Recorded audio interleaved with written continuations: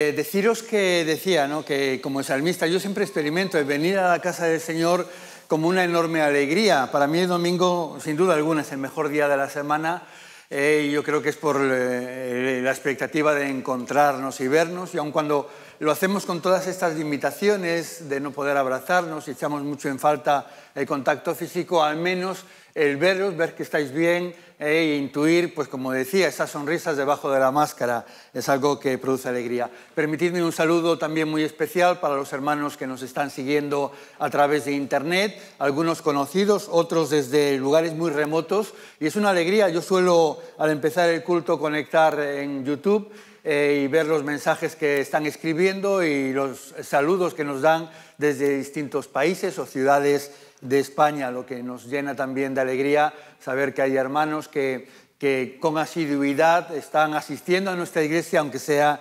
telemáticamente. Y quiero continuar con la serie que estamos llevando adelante en los mensajes que estamos desarrollando en cuanto a cómo Dios cumple sus promesas. Vamos ya por el cuarto. Y hoy me gustaría tomar, tocar un tema muy común, ¿eh? algo que, que nos afecta a todos porque todos tenemos miedos y temores. Es algo que no puedes evitar. El miedo es un mecanismo de defensa que se activa cuando intuimos un peligro, ya sea real o imaginario, como ocurre en la mayoría de las ocasiones. Por tanto, el miedo en principio no es algo negativo, no es algo malo, pero se puede convertir en algo negativo, en algo malo, cuando esto afecta a tu vida, cuando esto te está impidiendo hacer aquello que tú quieres hacer o te gustaría hacer o crees que debes de hacer. Y uno de los miedos más comunes y más limitantes es precisamente el miedo al fracaso. Para algunas personas fracasar supone algo imperdonable, algo irreparable, algo que no se puede permitir. Y con una visión así, difícilmente vamos a intentar algo, ¿verdad? Si, cuando lo haces el fracaso no es una opción y si fracasas el mundo se te cae encima y es catastrófico, pues caramba, es una enorme presión, así cualquiera lo va a intentar. Pero ya dijo un escritor norteamericano, Elbert, eh, Hubbard, dijo, el mayor error que puedes cometer en la vida es tener continuamente miedo de, de que cometerás uno. El miedo al fracaso en gran parte viene condicionado por tres factores. En primer lugar, la interpretación que realizamos eh, de la situación. Y podemos considerar cualquier actividad como un riesgo excesivo o que no estoy capacitado para ello y que por tanto me va a salir mal, no podré hacerlo. En segundo lugar, la anticipación que hacemos de las posibles consecuencias. Y es que hacemos constantemente predicciones catastrofistas sobre el futuro dándole una importancia desmesurada a los aspectos negativos, subrayamos lo negativo que puede ocurrir. Es esta idea de piensa mal y acertarás. Pero entonces considera, bueno, ¿para qué voy a hacer nada? Si total me voy a poner nervioso, no me va a salir mal o no me va a salir bien, la gente se va a reír, entonces ya no lo intentas. Y un tercer factor es la valoración que hacemos de nosotros mismos a partir del resultado que obtengamos. Pensamos que tener éxito o fracaso nos define como personas. Y así confundimos el tener un fracaso con ser un fracasado. Y eso hace que nos percibamos a nosotros mismos como incapaces para afrontar los retos de la vida. Y eso coloca barreras que nos limitan para perseguir nuestras metas. Ahora bien, es posible que alguno piense que este no es un problema que le afecte a él, aunque como decía al principio, todos tenemos miedos. Pero antes de llegar a una conclusión, te invitaría a que contestes a las siguientes preguntas para reflexionar sobre ello. ¿Te preocupa lo que otras personas piensen de ti? ¿Dudas de tu capacidad para alcanzar tus sueños? ¿Tiendes a colocarte el listón demasiado alto imponiéndote la obligación de conseguir grandes éxitos? Si no lo haces perfectamente, entonces no lo haces, como aquellos que quieren aprender un idioma y no dicen una palabra hasta que puedan hablar con fluidez, hasta que sientan que no se van a sentir avergonzados o no se van a reír de ellos. Sueles autocriticarte severamente y tienes sentimientos de culpa cuando cometes algún error. ¿Te preocupa decepcionar a la gente? ¿Alguna vez eh, le has dicho a alguien de antemano que no esperas tener éxito en algo que vas a hacer? Esto es muy común entre los estudiantes. Yo recuerdo siempre aquel compañero, al chapón de clase, que le preguntabas, ¿qué? ¿Cómo llevas el examen? Y dice, fatal, voy a suspender seguro. Y luego al salir le daban las notas y siempre sacaba un 10. Daba una rabia, ¿verdad? ¿Eh?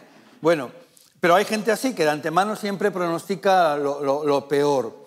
¿Alguna vez has tenido dolores de cabeza o de estómago u otros síntomas físicos antes de hacer algo que consideras importante? ¿Tiendes a posponer las cosas? ¿Te encuentras que cuando tienes algo importante que hacer, resulta que te entretienes mientras estás preparándote? De repente a lo mejor tienes que dar una conferencia, una clase, un estudio, cualquier cosa, y estás en ello y de repente te pones a mirar la biblioteca y decides dejarlo todo para ordenar los libros o quitar el polvo o hacer cosas que está bien hacerlas, no, son malas, pero no son urgentes, no son importantes, pero te hacen perder el tiempo. Te, te restan el tiempo de concentración para dedicarte a lo que realmente tienes que dedicarte. Pues todos estos síntomas tienen que ver con lo mismo, miedo al fracaso. Y el miedo al fracaso impide que tú te conviertas en lo que Dios quiere que seas. No hacemos para no equivocarnos, para que no nos salga nada mal, para que no piensen de nosotros que somos unos fracasados, para que no nos vean como unos perdedores. Elige tú tu por qué, puedes hacerlo. Y lo único que conseguimos es no alcanzar a vivir el propósito de Dios para nosotros. Es verdad que si no hacemos, no nos equivocamos, pero piensa, ¿qué obtenemos a cambio? Piénsalo un momento y decide si quieres vivir con miedo. Piensa lo que estás perdiendo y dejando de conseguir. Te pediría, por favor, responde a esta pregunta. ¿Qué serías capaz de hacer si no tuvieras miedo a fracasar? Lo que quiero hacer hoy es precisamente ver las promesas de Dios sobre este tema. Y es un tema tan importante que Jesús va a dedicar toda una parábola para ilustrar lo que significa y las consecuencias que tiene el temor al fracaso. Esta parábola la conocemos como la parábola de los talentos. Y hoy cuando hablamos de talento pensamos en habilidades, capacidades, como el que tiene un talento para la música, o un talento creativo, artístico, o un talento en cuanto a inteligencia, es capaz de hacer cuentas de memoria o cosas por el estilo, o en el campo deportivo. Pero en realidad, en los tiempos bíblicos, el talento era una unidad monetaria. Esto nació en Babilonia, pero luego rápidamente se extendió por toda la cuenca mediterránea. Y aun cuando en cada lugar tenía un valor distinto, básicamente un talento podemos estandarizarlo en que equivalía a 6.000 dragmas, o lo que es lo mismo, algo más de 21 kilos y medio de plata. Claro que si queremos hacer una equivalencia, no nos vale mirar el precio que tiene la plata hoy en día y multiplicarlo eh, por 21 kilos y medio, porque las cosas no evolucionaron de la misma manera, el precio de los materiales. No obstante, luego haremos esta equivalencia para que lo entendamos y solo permitidme señalar como curiosidad que el diccionario de la Real Academia Española de la Lengua eh, define lo que es talento a partir de la interpretación que se hace de esta palabra. Es la palabra de la Biblia la que de alguna forma le sirve al diccionario para definir la palabra talento en, el sentido que le dábamos anteriormente. De tal manera que en las primeras acepciones de esta palabra en el diccionario encontramos que talento es igual a inteligencia, es decir, capacidad de entender o aptitud, capacidad para, capacidad para el desempeño o ejercicio de una ocupación. Entiendo que la mayoría de vosotros ya conocéis esta parábola, al menos de oídas. Perdonadme que no voy a leerla. Eh, os eh, invito a que si alguien quiere refrescarla, se encuentra en Mateo capítulo 25, versos del 14 al 28, pero quiero hacer una muy breve síntesis. En esta parábola Jesús cuenta de un señor que tenía una hacienda y va a emprender un largo viaje y antes de marchar reparte sus bienes entre sus criados, entre sus siervos, y a uno le da cinco talentos, a otro le da dos talentos y al tercero le da un talento a cada uno conforme a su capacidad. En cualquier caso, en cualquier caso, tanto el que llevó los cinco como el que llevó uno, estamos hablando de una cantidad enorme de dinero. Decía antes que un talento equivalía a 6.000 dracmas. Y lo que nos permite actualizar esta cantidad, tener una equivalencia, una correspondencia más o menos que sepamos manejar en el día de hoy, nos lo puede dar el conocimiento de que un dracma era el salario que percibía un obrero por un día de trabajo. Es decir, un dracma es eh, un día de trabajo. Así que eh, si calculamos 6.000 dracmas en una cuenta sencilla, contando fines de semana y días festivos, vendría a equivaler a el salario que recibiría un obrero, el salario mínimo interprofesional que recibiría un obrero a lo largo de 20 años de trabajo. Eso es lo que equivale un talento. Así que el que menos recibió, recibió el equivalente a lo que alguien ganaría en 20 años. Es decir, una cantidad importante de dinero, no solo en aquellos días, sino también lo sería hoy en día.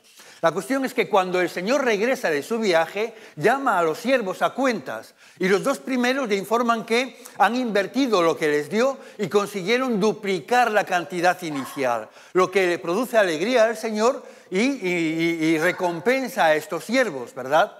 Lo reconoce y le recompensa. Pero cuando llega el tercero, el tercer siervo le dice que tuvo miedo al fracaso, de esto está hablando, temió fracasar con sus inversiones y lo que hizo fue jugar sobre seguro, enterrar el dinero para no perderlo, para que nadie se lo pudiera robar, de tal manera que pudiera devolverle al Señor lo que había recibido. Pero esto provocó una reacción de enojo en el Señor que llega a calificar a este siervo como malo y negligente. Es muy duras estas palabras, no tengo tiempo para desarrollarlo, pero la cuestión es que ordenó quitarle lo que se le había dado y entregárselo al que tenía diez talentos, que ahora tendría once, y este nada. Y Jesús cuenta esta historia precisamente para ilustrar acerca de el miedo al fracaso y enseñarnos, entre otras lecciones, lo importante que es que nos deshagamos de ese miedo, porque no puedes agradar a Dios cuando intentas jugar sobre seguro, cuando intentas ir sobre seguro. Ahora, sígueme en este razonamiento, por favor. Si no corres ningún riesgo, no necesitas ninguna fe. Y si no tienes ninguna fe, entonces en ese momento estás siendo un infiel. ¿Me seguís? Y Dios dice que eso es malvado, que eso es perverso, que es negligente, que lo que quiere decir esta palabra es, es eh, no, no, no, no prestar atención, no mirar con diligencia, de tal manera que no te importa lo mío, no te está importando lo mío, no cuidas de lo que es mío. Y Dios está diciendo, yo te hice para marcar una diferencia en el mundo, no para que vivas para ti, no para que estés seguro, cómodo en tu zona de confort. Y lo que quiero hacer en esta mañana es comentar seis verdades que debemos de recordar y seguir para eliminar el miedo al fracaso en nuestras vidas. Por ello debemos de recordar, en primer lugar, que todo el mundo falla de alguna manera. Todos cometemos errores, todo el mundo falla, cada persona. La tasa de, fracaso de los seres humanos es del 100%. Nadie es perfecto. Todos nos equivocamos muchas maneras, o perdón, muchas veces, de muchas maneras y en muchos aspectos. Y si al principio no lo logras, eso lo que quiere decir es que eres normal. Si la primera vez que lo intentas fallas, eso solo quiere decir que eres humano, porque eso está dentro de nuestra naturaleza. Lo que no es normal es ser perfectos. Esto ni siquiera es anormal, está fuera del alcance de nuestra naturaleza. Y esto es lo que dice Santiago cuando afirma que todos cometemos muchos errores o como traduce la nueva versión internacional, todos fallamos mucho. En Eclesiastés leemos también que nadie en la tierra es tan perfecto que haga siempre el bien y nunca peque. Así que si tú fallas, bienvenido al club. Y, y lo cierto es que exageramos la importancia del fracaso. Porque si yo hago algo que todo el mundo puede hacer, eso no tiene mucho valor, ¿verdad? ¿O tú pagarías por, por eh, una caricatura de un moñigote que tú puedes hacer mejor? ¿Verdad que no? Bueno, hay quien quizás eh, le dé otro valor. La cuestión es que el fracaso no es gran cosa. Todo el mundo fracasa. Tú no eres especial, no te convierte en nadie especial. Así que, en realidad, el fracasar no tiene nada de especial, no es nada extraordinario. En segundo lugar, recuerda que ningún fracaso es definitivo a menos que te rindas. El miedo al fracaso es mucho peor que el propio fracaso, porque el fracaso es un momento. Ocurre ese momento y se acabó, pero el miedo es algo que te atormenta por horas o por días, semanas, por meses y continúa y puede estar años, toda tu vida, puedes estar prisionero, limitado por el miedo al fracaso. Y cuando tienes miedo, ni siquiera lo intentas y eso sí te convierte en un fracasado. Un conocido proverbio dice que el mayor fracaso es no haberlo intentado. Ahora piensa en esto, si ni siquiera lo intentas, eso significa que no lo vas a conseguir. Así que el miedo solo garantiza el fracaso. Y esto es una, profecía de autocumplimiento. Así que no pierdes nada por intentarlo y tienes todo por ganar. Eso es lo que significa esta expresión que yo tantas veces he escuchado y no recuerdo de dónde me viene, no sé si es de mi casa o, de la escuela, no sé de dónde, pero yo la utilizo constantemente. Cuando tienes dudas en cuanto a hacer algo, pedir algo, siempre digo, bueno, el no ya lo tienes, lo, lo conocéis, ¿verdad? Esta expresión. Lo que quiere decir es precisamente, no tienes nada que perder. ¿Qué ocurre? Que si lo pides o intentas hacerlo y no lo consigues, te quedas igual que estabas. Eso ya es lo que tienes ahora. Pero si ocurre, si lo consigues, si, si la persona dice que sí, ¿eh? lo tienes todo por ganar. En Proverbios nos dice que aunque siete veces caiga el justo, volverá a levantarse. Fijaos que nos dice que incluso la gente buena tropieza y cae, incluso la gente piadosa comete errores, y no solo una vez, sino hasta siete veces. Pero precisamente porque es justo, lo que hace es levantarse de nuevo y volver a intentarlo. No se queda abajo. Pablo describe esta experiencia diciendo que podemos estar derribados pero no destruidos. Hemos caído, nos ha golpeado, pero podemos volver a levantarnos porque aún no se ha escrito el final de nuestra historia. Este no es el final. Y esa es la cualidad de la resiliencia. Y si tú quieres ser un hombre justo a los ojos de Dios, una de las cosas que debes de aprender es a ser resiliente, lo que significa que vas a tropezar, que te vas a caer, pero te levantas de nuevo y vuelves a intentarlo. No es el justo el que dice, ya lo intenté una vez, no funcionó y ya no lo voy a volver a intentar, ya, ya me rindo. No, la Biblia dice precisamente que ningún fracaso es definitivo. El justo se levanta y vuelve a levantarse y vuelve a levantarse y vuelve a levantarse hasta siete veces, ¿verdad? Ocho. En Gálatas dice Pablo que no debemos de cansarnos de hacer el bien, porque si no nos desanimamos, a su tiempo cosecharemos. Si sigues adelante, si no dejas que el fracaso sea definitivo, porque nunca te rindes, entonces no sabes lo que va a pasar, pero todas las opciones, todas las posibilidades están delante de ti. Conocéis la historia de Walt Disney, ¿verdad? Él fue expulsado de un periódico porque carecía de imaginación y no tenía buenas ideas. Intentó numerosos negocios que fracasaron hasta que, hasta que proyectaron su primera película de dibujos animados, que fue Blancanieves, y a partir de ahí conocéis ya la historia. Otro personaje parecido fue Oprah Winfrey, que la despidieron de televisión porque no disponía de las condiciones para salir en pantalla. Y sabéis que hasta recientemente que se jubiló, ella era la reina de la televisión, de los programas de entrevistas, y se ha convertido en la mujer más influyente y una de las más ricas de Estados Unidos, que es lo mismo que decir del mundo. Vincent Van Gogh, ¿eh? él es que pintó eh, más de 800 cuadros y no vendió ni un solo cuadro. Bueno, en realidad eh, digo que no vendió porque un amigo suyo le compró uno. Entiendo que le iba a dar el dinero de todas, todas y dijo, bueno, por lo menos dame un cuadro. ¿no? Fue lo único que consiguió en toda su vida. No consiguió vender, pero no, dejó de pintar. Siguió pintando más de 800 cuadros, a pesar de que a nadie le gustaba, nadie creía en su pintura, nadie la entendía y a todo el mundo le parecía feo. Pero él creía, él entendía lo que estaba haciendo y siguió pintando y hoy ha cambiado el paradigma de la pintura, ha cambiado el modo en el que entendemos y se ve la pintura. Y entre las obras más costosas de las pinturas de todas las épocas, no las que tienen un valor simbólico, que ah, esto es impagable, no, no, ¿cuánto ha pagado alguien? En realidad, es decir, alguien se ha sacado la billetera, ¿cuánto ha estado dispuesto a pagar? Pues entre las 15 obras más costosas del mundo se encuentra un cuadro de, Van Gogh. ¿eh? Creo que llegaron a pagar más de 82 mil millones de, dólares. Esto fue, eh, porque no, no desistió, no lo pudo ver en vida, pero quedó el legado, ¿verdad? Y podríamos seguir con experiencias sin cansarnos. ¿Recordáis a, Albert Einstein. Él fracasó en la escuela, suspendió matemáticas, pero más adelante él se convertiría en un nuevo creador de las matemáticas modernas, ¿verdad? Y creó eh, una nueva forma de entender el, universo. Y, Alba Edison, él también lo echaron del colegio por su incapacidad para aprender. Y luego se convirtió en el gran creador, en el gran eh, eh, inventor que, que, se convirtió en el gran científico, ¿verdad? Y realizó más de 11.000 experimentos antes de descubrir cómo funcionaba la lámpara incandescente.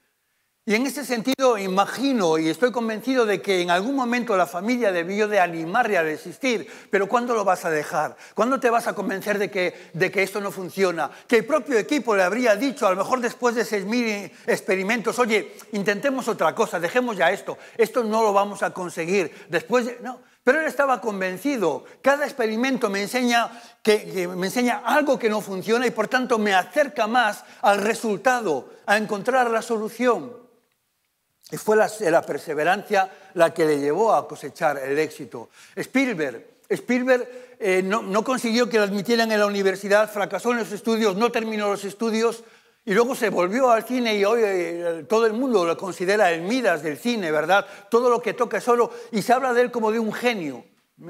Y podríamos seguir. El fracaso puede que solo sea el prólogo para un futuro glorioso. Y es lo que nos lleva al tercer punto. Debes de recordar que el fracaso es el camino hacia el éxito.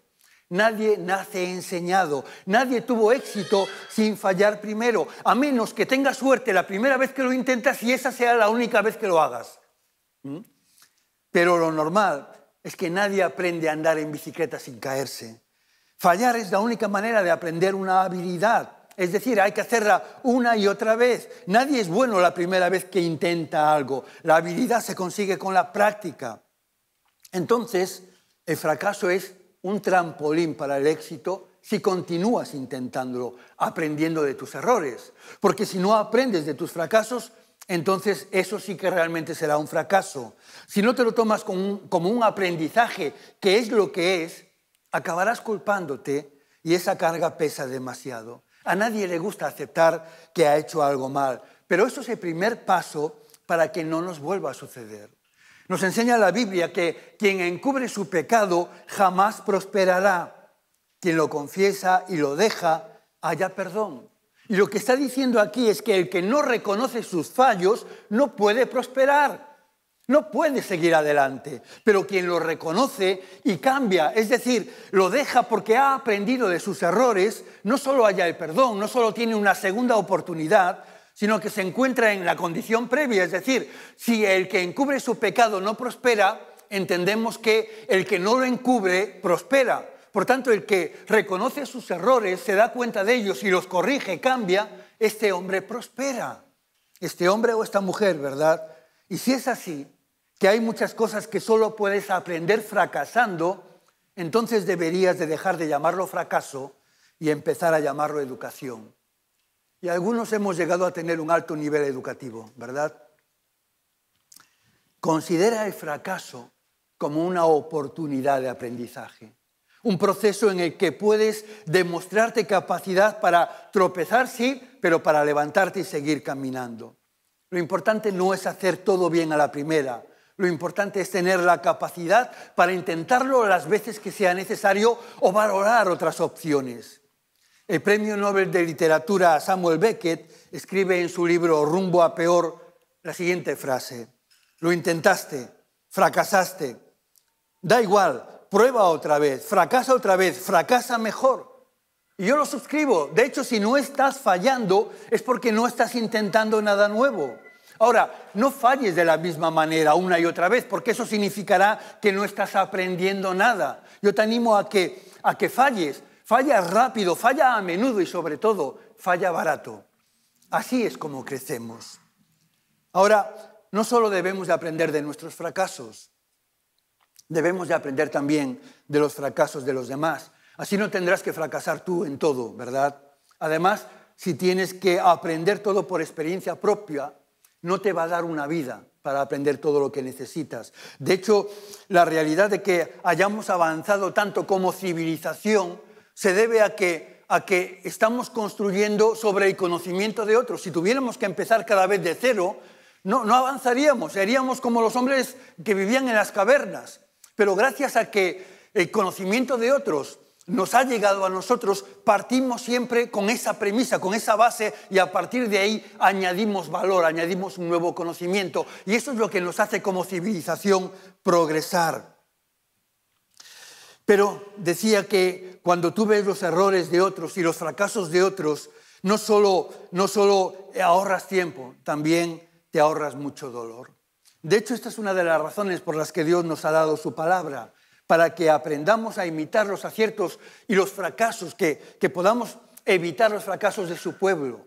Esto lo expresa Pablo cuando escribe a los Corintios y dice que todo esto se está refiriendo a las experiencias vividas en el desierto, en el Éxodo, les ocurrió a nuestros antepasados como un ejemplo para nosotros y fue puesto en las escrituras como una advertencia para los que vivimos en estos tiempos últimos. Fijaos, Dios permitió que ocurrieran ciertas experiencias a su pueblo y luego quiso que fueran escritas, que se conservaran para que nosotros recibiéramos por una parte el consejo, pero también la advertencia, para que pudiéramos imitar las cosas buenas que hicieron, pero para que pudiéramos evitar sus errores y no volver a repetirlos.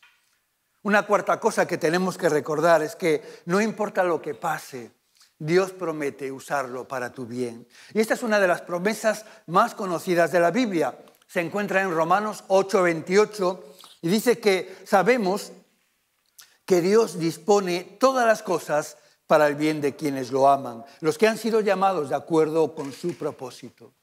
Y siempre subrayamos que esta promesa no es para todo el mundo, es solo para aquellos que aman a Dios, aquellos que intentamos vivir conforme a su propósito. Si alguien está intentando eh, ir en dirección opuesta a lo que Dios quiere o está intentando huir de Él, lo más normal es que todo le vaya mal en la vida. En cualquier caso, Dios no está prometiendo a estas personas cambiar nada de su situación ni obrar para que eso se transforme en algo que contribuya a su bien.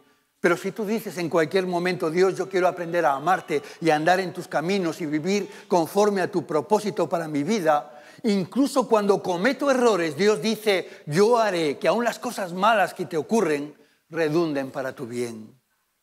Y ese es un tremendo reductor del miedo, porque entonces sé que no puedo perder. Porque si hago las cosas bien, si, acierto, si consigo el éxito, pues bien, premio, ya tengo el éxito. Pero incluso cuando lo hago mal, Dios hace que eso se convierta en una bendición, de tal manera que al final también lo que obtengo es algo bueno. Así, así que lo consiga o no lo consiga, me salga bien o me equivoque, lo que obtengo es bueno. No puedo perder. Y entonces, ¿de qué voy a temer? ¿A qué le voy a tener miedo? Pablo escribe a los corintios y les dice, mirad, todo lo que ha hecho esa tristeza en vuestra vida. Ahora estáis decididos a hacer lo que tenéis que hacer. Queréis demostrar vuestra inocencia y os molestáis con la maldad. Estáis alarmados por la situación, deseáis verme, os ocupáis por mí y estáis dispuestos a castigar a quien hizo el mal. Esta es una paráfrasis, pero el contexto para que podamos entender lo que aquí está ocurriendo es que Pablo ha escrito una carta a la iglesia en Corinto y en esta carta era una carta severa en la que le reprendía por su actitud. Si recordáis en la primera carta, le censura que no puede hablar como personas maduras porque son niños espirituales. Y son niños porque están siempre mordiéndose, peleando. No, no, no, no tienen un carácter cristiano aún habla acerca de pecados de inmoralidad que ni aún entre los incrédulos se escucha que se den y están dentro de la iglesia y la iglesia no hace nada, está consintiendo. Y habla acerca de las disputas internas, las divisiones, los bandos, unos que dicen que son de Pedro, otros de Apolos, otros de, de Pablo, otros de Cristo, los más espirituales. Constantemente está reprendiéndoles por todas estas actitudes acerca de los conflictos por comer carne eh, que se ha sacrificado a los ídolos, las disputas, los problemas incluso por las bendiciones. Hay, quienes tienen dones espirituales, pero no los utilizan bien y lo que generan es confusión y problemas dentro de la iglesia. Y entonces, cuando ellos reciben esta carta, se entristecen. Normal, ¿verdad? Cuando a ti te riñen por cualquier cosa, en principio no hay nadie que reciba bien las críticas. Y esto ocurrió y entonces Pablo siente pesar No siente dolor porque dice, no es lo que yo buscaba, el verlos tan entristecidos a mí también me causa pesar. Pero cuando veo el cambio que ha producido en vosotros, cuando veo que esa carta ha servido como un punto de inflexión para que os arrepintierais y a partir de ahí cambiara de vuestra actitud y empecéis a actuar como se espera de vosotros de forma correcta, entonces ahora me gozo, me gozo de, de lo que ha producido.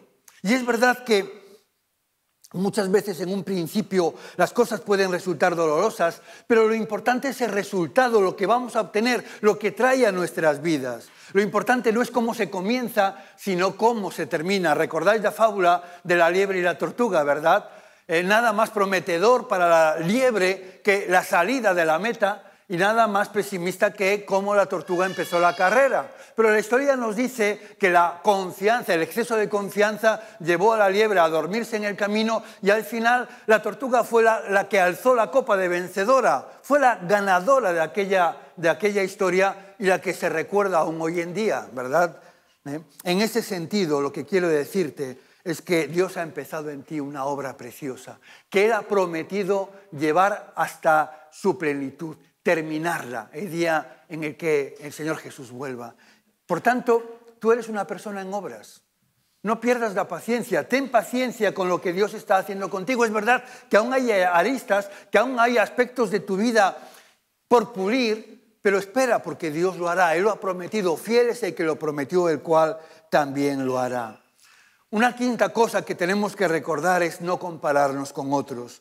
Y esta es la raíz del miedo al fracaso. Y el problema es que en este tiempo es muy difícil evitar las comparaciones porque las redes sociales se han convertido en un escaparate donde todo el mundo exhibe sus logros, sus triunfos, sus éxitos. ¿Verdad? Y todos suben las fotos de los mejores momentos de su vida y encuentras pues a alguien que está haciéndole la foto a, un entrecot de un kilo y tú lo ves y dices, oh, qué rico, ¿no? Qué suerte tiene este. O al coche nuevo que ha comprado o cosas por el estilo, lo ves haciéndose un selfie delante del, del espejo eh, probándose la ropa nueva que se ha comprado. Y todo el mundo sonriendo, todos parecen tan felices. Sabéis que esto está trayendo problemas de depresión a mucha gente por las comparaciones, porque mi vida no es tan buena como la que aparece eh, en el Instagram o en otras redes sociales. La cuestión es que al final no nos damos cuenta de que todo esto es falso, que la sonrisa dura lo mismo que dura el clic de la cámara, que toda esa apariencia de felicidad es como los decorados de televisión o de cine que aparentemente es algo precioso, pero cuando miras detrás todo es cartón piedra, todo está vacío. Y muchas de estas vidas, evidentemente, nunca te van a enseñar cuando están solos o se están aburriendo o están deprimidos, no. Pero todos parecen competir para ver quién tiene la mejor, la mejor vida eh, o quiénes están viviendo los mejores momentos, las mejores experiencias. La Biblia dice una y otra vez que eres único. Y esto hace que nunca deberías de compararte con nadie porque no hay nadie con quien compararte, no hay nadie que sea como tú. Y Dios lo que quiere es que tú seas tú, que seas aquello para lo que te hizo. Y cuando te comparas, sucede una de estas dos cosas. O te comparas con alguien que tiene una vida mejor que tú, una casa mejor que la tuya, un coche mejor que el tuyo, y entonces te desanimas, te deprimes, o te llenas de envidia, o te comparas con alguien a quien le va peor que a ti, que lo ha hecho peor, que ha fracasado y entonces te llenas de orgullo. En cualquier caso, estás pecando. Dios dice que no lo hagas, no te compares. No compares a tus hijos con los hijos de los otros. No compares a tu esposa o a tu esposo con otros hombres o mujeres. No compares tu casa ni tu coche, disfrútalo. Dice la Biblia que cada uno debe de juzgar su propia conducta y si ha de sentirse satisfecho que lo sea respecto de sí mismo y no respecto de los demás. Hay un tipo legítimo de autoestima y es apreciar lo que he hecho cuando hice todo lo mejor que yo podía. Que no soy el mejor, que no soy el primero, no importa, pero he hecho lo mejor que yo podía. Puede que otros los hagan mejor o, o hagan las cosas mejores que yo, pero yo he hecho lo que yo he podido con lo que yo he tenido. Y de eso sí me puedo sentir orgulloso. Así que juzga tus propias acciones, pero no te compares. Pablo dice esto precisamente cuando señala que no nos atrevemos a igualarnos o compararnos con esos que se alaban a sí mismos, pero ellos cometen una tontería al medirse con su propia medida y al compararse unos con otros. ¿Te das cuenta de que la Biblia dice que cuando te comparas con otros estás haciendo una tontería? estás siendo un tonto. Así que, como recomienda esa empresa de electrodomésticos, no seas tonto, ¿verdad? Yo no soy tonto. Y por último, recuerda reemplazar el miedo con fe en Jesús. Mucha gente no tiene ni idea de hasta qué punto afecta a nuestra vida los pensamientos que ocupan nuestra mente. Pero la palabra nos advierte con claridad que la renovación de nuestra mente es la clave para poder cambiar nuestra manera de vivir. Y esta renovación se logra de dos maneras. En primer lugar, debemos identificar los pensamientos eh, que no son dignos del Señor, que son contrarios a su voluntad para nosotros, y llevarlos cautivos a la obediencia a Cristo, que es lo que nos dice la palabra, porque las armas de nuestra milicia no son carnales, sino poderosas en Dios para la destrucción de fortalezas, derribando argumentos y toda altivez que se levanta contra el conocimiento de Dios, y llevando cautivo todo pensamiento a la obediencia a Cristo. Y esto significa que tienes que desechar ciertos pensamientos de tu mente pensamientos de envidia, pensamientos que yo llamo cubrir huecos. Cuando tú tienes una información, no tienes, te falta una información, no intentes suponerte lo que está pasando, no intentes leer en el corazón de la persona, no le atribuyas motivaciones que tú no conoces. Esos pensamientos tienes que desecharlos, pensamientos de derrota, pensamientos que te llevan a la depresión, todas estas ideas, incluso aquellos que te invitan a compararte. Lo que tienes que hacer es tomar esos pensamientos y echarlos fuera de tu mente. Y tú me dirás, sí, es fácil decirlo, pero eso no se hace o no se puede hacer. Yo te digo, no es verdad. Es fácil decirlo, pero también es fácil hacerlo cuando practicas, cuando te entrenas, cuando lo haces repetidamente y al principio es verdad que te puede costar y que puedes ser derrotado muchas veces, pero llegará un momento donde vas a adquirir la destreza para con prestitud, con diligencia, tomar esos pensamientos y decir, no voy a pensar más en esto. Y como dice la palabra, voy a ocupar mi mente con todo aquello que, que, es amable, puro, con lo que es digno de alabanza, donde hay alguna virtud. En estas cosas voy a ocuparme. Y esto es lo que significa llevar cautivo los pensamientos a la obediencia a Cristo. No obstante, la mente no opera en vacío. El espacio que deja ese pensamiento descartado debe de ser llenado con otro pensamiento, si es que no queremos volver a reincidir en los pensamientos anteriores. Y debemos de alimentar nuestra mente con la palabra de Dios, especialmente con las promesas de Dios, sabiendo que todas ellas son verdad. Como recordamos en cada mensaje de esta serie, leyendo este verso, Dios no es como nosotros, no dice mentira alguna ni cambia de parecer, Dios cumple lo que promete. Y Él promete que puedo enfrentar cualquier situación porque Cristo me da el poder para hacerlo. Incluso aquellas situaciones que me dan miedo mi fe no está en mi propio poder, está en el poder de Cristo en mí. Y cuando recuerdo lo mucho que me ama y que su propósito para mi vida es agradable, es bueno, es perfecto, y que sus planes son para que prospere, no para que fracase, para darme un futuro y una esperanza, y que además Él está conmigo donde quiera que yo vaya, que me lleva en la palma de sus manos, que me sostiene con su diestra de justicia, que nunca dejará que la prueba que yo vaya a enfrentar sea mayor de lo que yo puedo resistir y que me ha hecho en todas estas cosas más que vencedor, porque me dará el poder para hacer frente a lo que venga, sea lo que sea. Entonces, como dice Pablo, ¿a quién temeré? ¿A quién temeré? ¿De qué voy a temer? Dice el Señor, no tengas miedo porque yo estoy contigo. No temas, pues yo soy tu Dios. Yo te doy fuerza, yo te ayudo, yo te sostengo con mi mano victoriosa. ¿Qué quieres que suceda en este año en tu vida? Pregúntate lo que decíamos al principio. ¿Qué intentaría por Dios si supiera que no puedo fallar? Te animo a que tengas grandes sueños para Dios, porque Dios dice, te daré la fuerza, estaré contigo y te fortaleceré, yo te ayudaré, yo te sostendré con mi diestra de justicia. Nos dice la Biblia también que Dios no nos ha dado un espíritu de temor, sino un espíritu de poder, amor y buen juicio. Y yo no sé por lo que estás pasando. Y sí que lamento todo el dolor que hayas podido experimentar.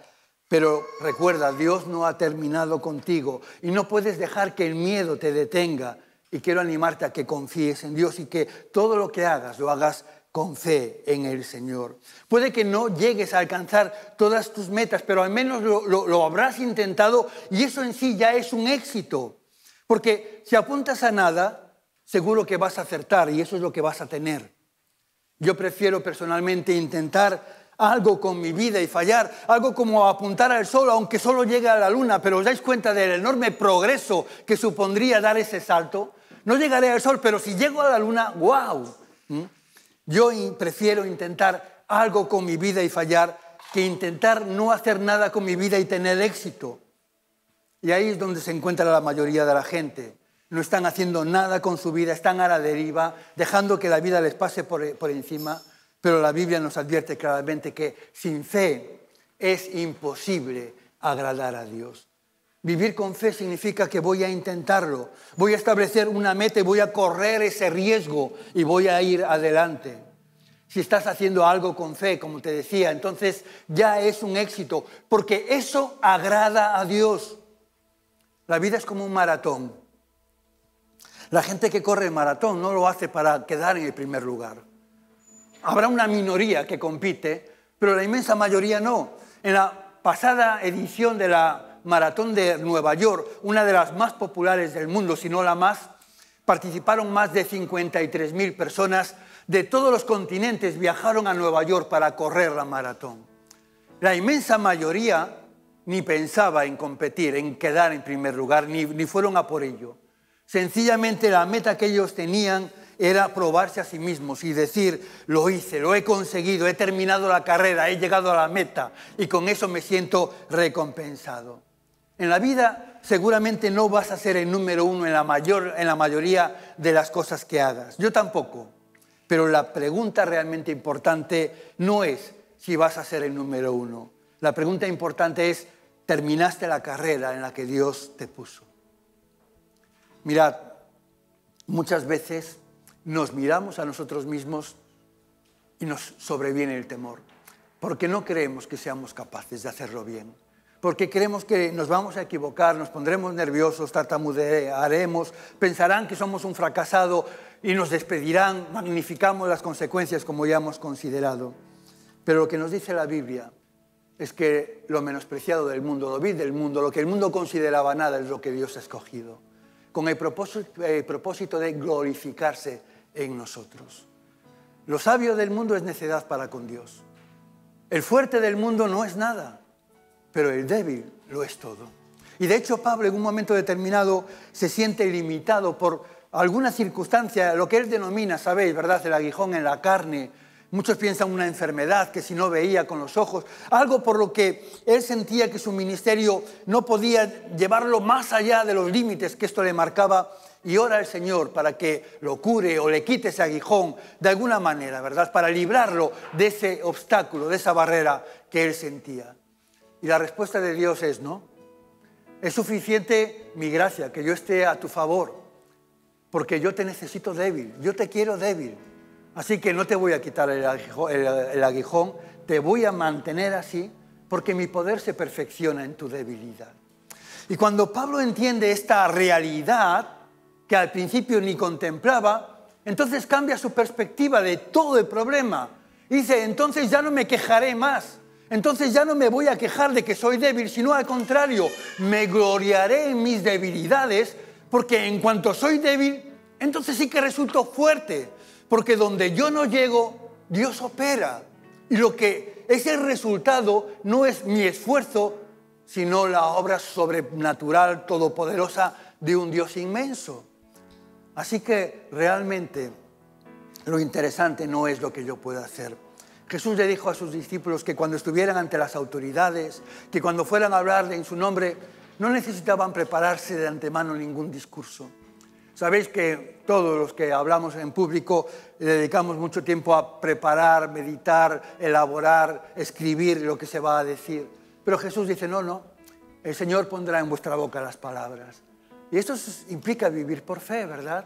El depender de que en ese momento Dios supla tu carencia de recursos, tu oratoria, tus conocimientos y te dé palabras elocuentes, palabras convincentes que lleguen a los corazones. Pero esa es su promesa porque Él estará contigo. Entonces, lo importante no es tanto lo que tú puedes, sino lo que Dios puede. Y cuando tú le dejas hueco en tu vida, le dejas el espacio, te rindes a Él, entonces Dios muestra su poder en tu debilidad. Vamos a terminar orando y quiero invitaros a que podamos reflexionar en ello. No sé qué cosas están limitándote, impidiéndote ir más allá de donde estás. Pero yo te animo a salir de tu zona de confort, a soñar lo que Dios quiere que tú hagas, a arriesgarte, a arriesgarte y fallar, y volver a fallar y levantarte cada vez hasta conseguir lo que, lo que sueñas con conseguir. Y en todo caso, si alguna persona hasta aquí ha estado caminando sin, sin Dios y ha experimentado que su vida, pues hay fallos de los que no se ha recuperado y se da cuenta de que necesita ayuda, que sus fuerzas no son suficientes, que tiene que tener un poder más grande que el que existe en sí mismo, un conocimiento mayor que el que él tiene, etcétera, etcétera. Si te estás dando cuenta de que necesitas un Salvador, alguien que te rescate del hoyo en el que te has metido, no lo dudes, ese Salvador es Jesús, porque no hay otro nombre dado a los hombres en que podamos ser salvos que el nombre de Jesús. Yo te animaría a que hoy abrieras tu corazón y le invitaras a que venga en tu vida, a que decidas vivir para Él, amarle con todo tu corazón, con toda tu mente, con toda tu alma y con todas tus fuerzas. Porque esto va a traer un cambio significativo, porque entonces Dios te dirá que a los que aman a Dios, Él está operando, obrando para que todo redunde para tu bien. Entonces sí, ganarás. Vamos a orar. Padre, gracias Señor por tu palabra, por tu amor que nos hace sentir constantemente, siempre, permanentemente aceptados por ti a pesar de nuestros fallos, a pesar de que muchas veces nos vemos y nos vemos miserables, sin nada apreciable o bello en nosotros. Pero gracias porque tú nos has acogido y nosotros que éramos esa parte del mundo vil y menospreciada, tú nos has dado todo el valor. Gracias porque no nos dejas solos, porque nos acompañas y nos das fuerza para poder hacer frente a cualquier situación. Y Padre, queremos confiar en ti.